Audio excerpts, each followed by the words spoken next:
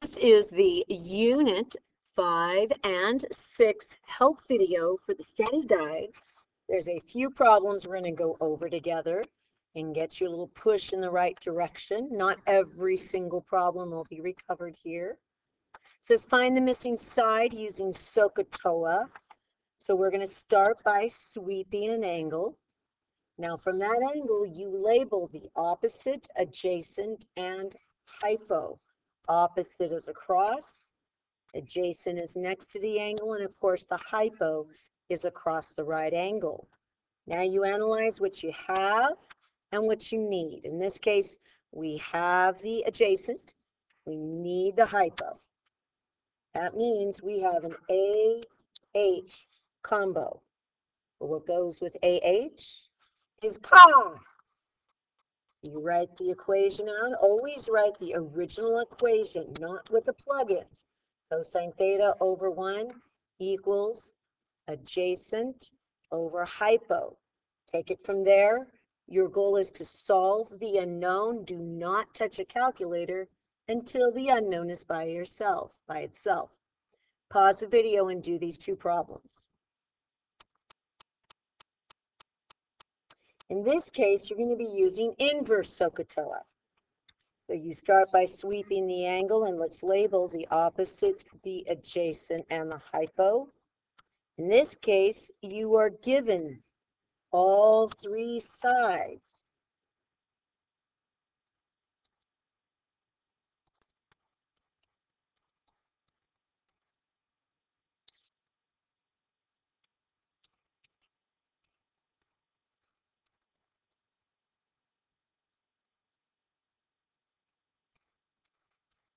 So if you're given all three sides, technically you could use any one of these inverse sine, inverse cosine, or inverse tangent to solve for that angle. Pause the video and do both. So what's really important with the 30, 60, 90, 45, 45, 90 is to take the time and figure out what your tables are.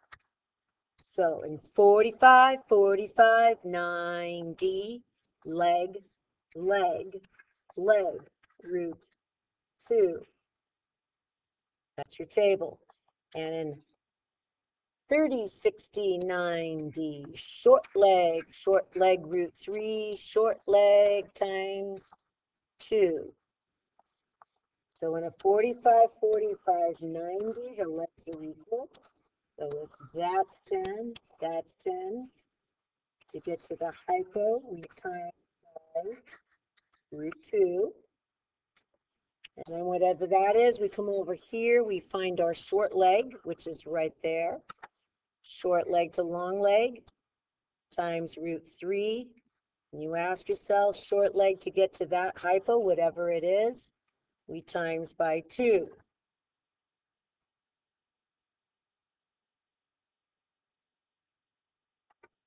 Pause the video, do this section.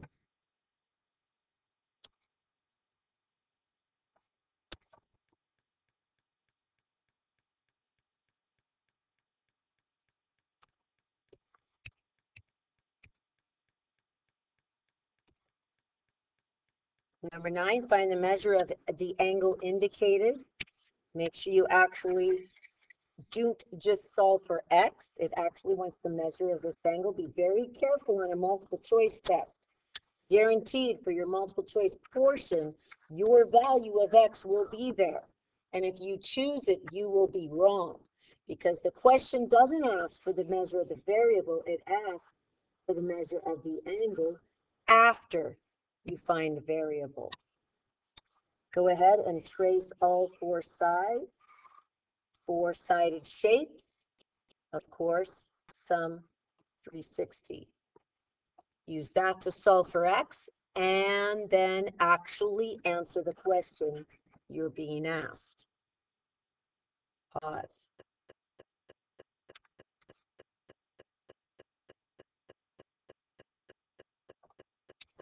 Parallelogram. This takes you back to the OCD.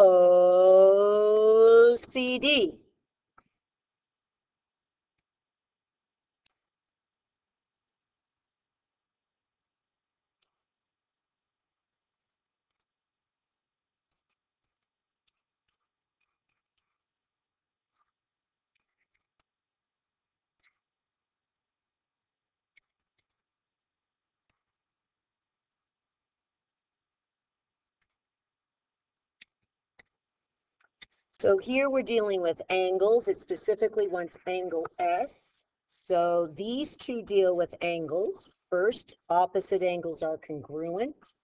So we know that angle V and T will be congruent and angle U and angle S will be congruent. Second thing is we know that consecutive angles are supplementary.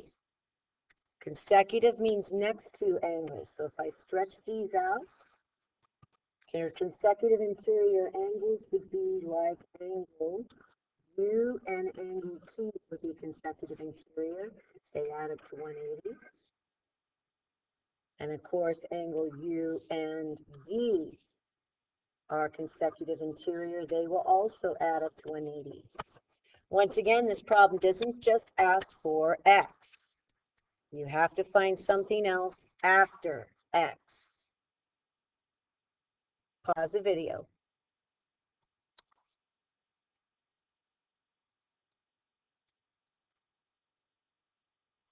Isosceles trapezoid, basic rule of thumb, if you have two equal sides, you have two equal angles, so we know that angle X and U must be equal and angle W and angle V must be equal.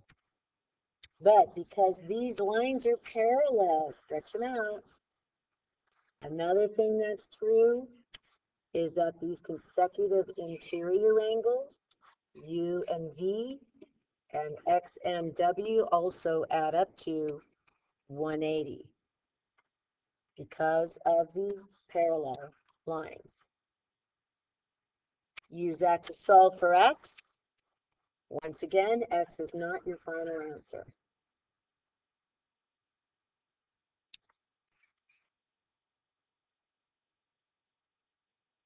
In each of these problems, we are given what's called the median. The median, which is the connector of the midpoint.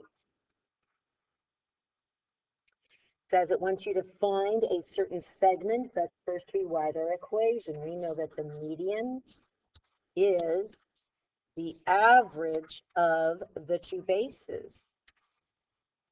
Bases are the parallel sides.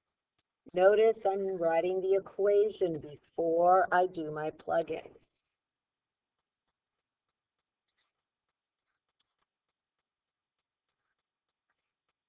I make my template. Now you can plug stuff in. My median. I circle it, circle it, plug it in.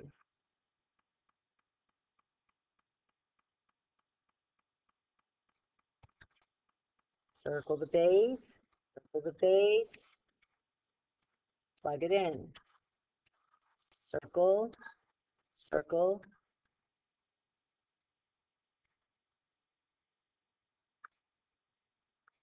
plug it in. And make sure you don't drop the two there. You've got two proportions or a proportion, two ratios. So of course you're going to cross multiply. Do not stop at x. Once again, you're looking for something beyond x. Make sure you actually answer the question that's being asked.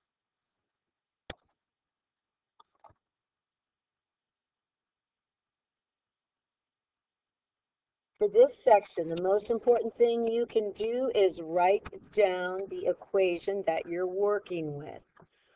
For example, number 15 says find the missing measurement. These are all area concepts. How do I know they're all area? Because of that word, area. So you start by writing down the area equation of whatever shape is involved. And in this case, this is a trapezoid. I'm going to write it like this. Equations have two sides. with an equal sign. So I write the word area equals the average of the bases times the height. Notice I have an equation with an equal sign and two sides. Make sure you always have two sides to an equation. Circle plug chug. I circle the word area and looky there. I'm going to plug that in where it says area.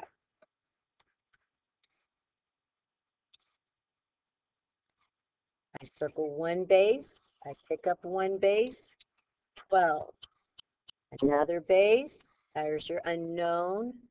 Question mark. Height. Height. 7. You could do this one of two ways. Either you can distribute that 7 just to the numerator, or you can divide out the 7 both sides, then cross multiply and solve for the unknown.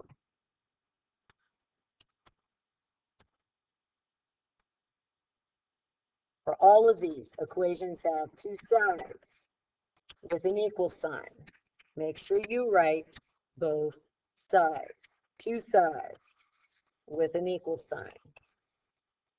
Equations have two sides with an equal sign.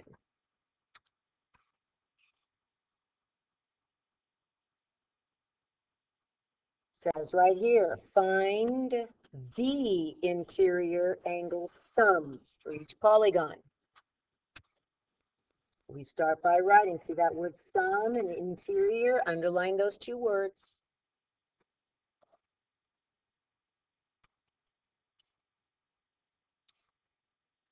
The sum of interior angles, sides minus 2 times 180.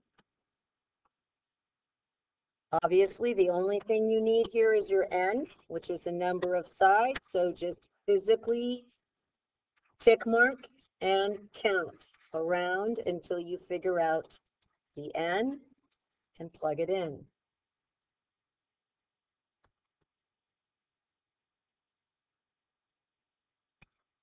Just find the measure of one interior angle. So each angle of a regular polygon, sum over sides, ain't this fun? So I write one interior is going to be sum over sides. Ain't this fun? We want a single interior angle. Remember, it's regular, so we only need one because it's congruent all the way around. Now we define the sum, and it's interior.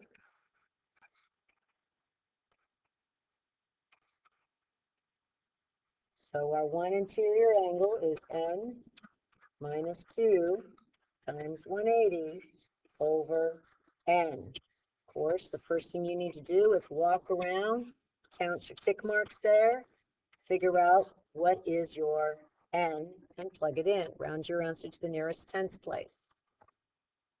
Pause the video. Do the work.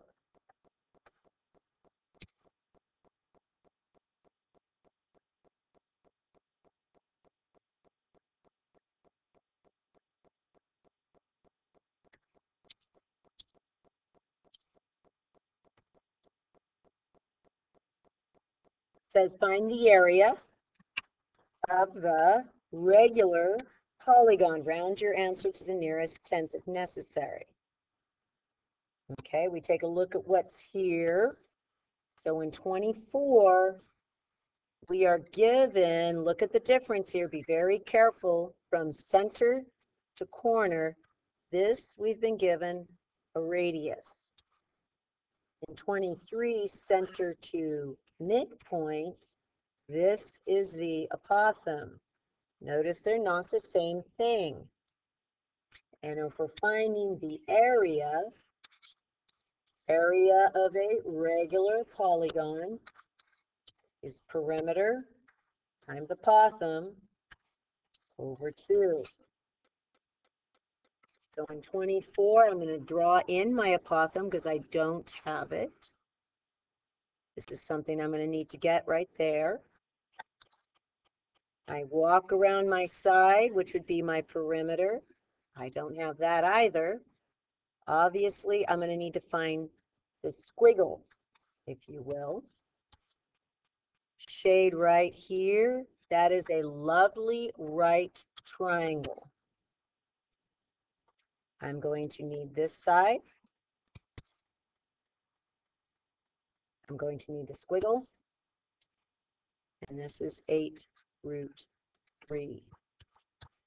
You start by drawing in all your pizza slices, which are your radii to the corners.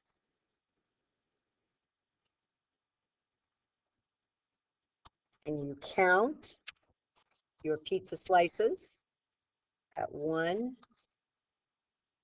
two, three, four, five, six. Of course I find one pizza slice is 60 which makes that right there 30.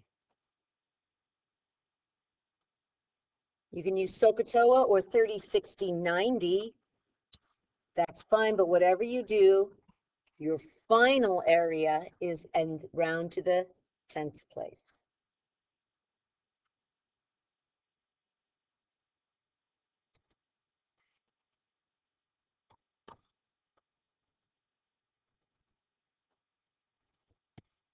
For the next section, I recommend you go back in your reference booklet to Unit 6 and take a look at this page. You really want to keep it handy here. Okay, so find this in your reference booklet. And let's just recap. Translation to slide. Add to the left, add to the right. Reflection to flip over the y opposite the x. Reflection over the x axis. To flip over the x, you opposite the y. Reflection over the origin, which is the same as rotating 180. To flip over the origin, opposite both. Last, the rotations. To rotate 90 clockwise, you switch and flip to the right.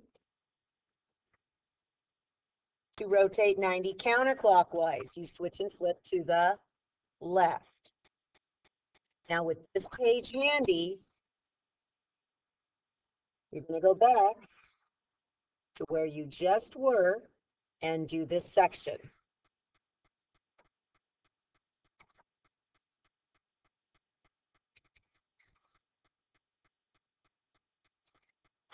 The one I will do with you is I will do one of the rotations 90 because it is the trickiest.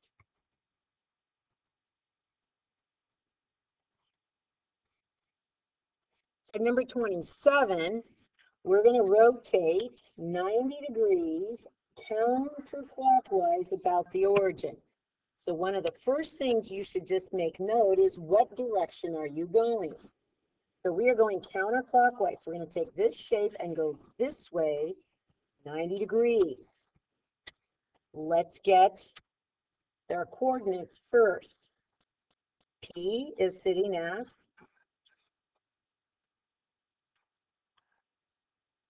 is going to be at negative 3, positive 4. So let's put that right here.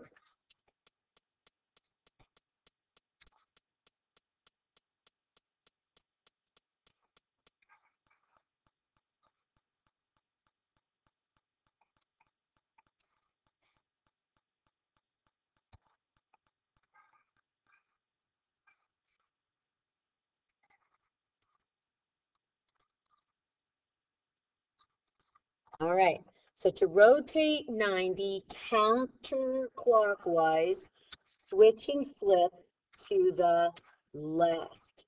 So the first thing you do is you simply switch the order. So I'm going to go 4, negative 3, 1, negative 3, 3, negative 1.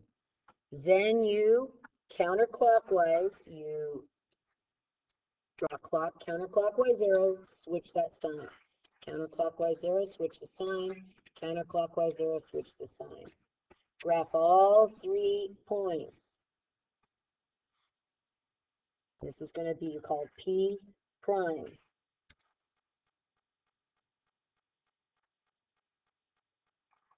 X prime.